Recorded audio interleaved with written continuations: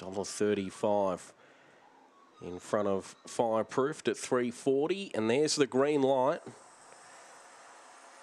racing and beginning well Bayou is just left in front from in second spot here fireproofed and also in behind them is Super Potato then Mad Kev and further back to Moon Stroller Mr. Boo well back Bonneville Icon and Shooter Peak between Bayou and also Fireproof Bayou pulling enough Bayou gets in the favourite from Fireproofed and then Mad Kev market order one two three and then Moon Stroller Bonneville Icon Mr. Boo Super Potato and Tudor Peak towards the end. 1961 the time.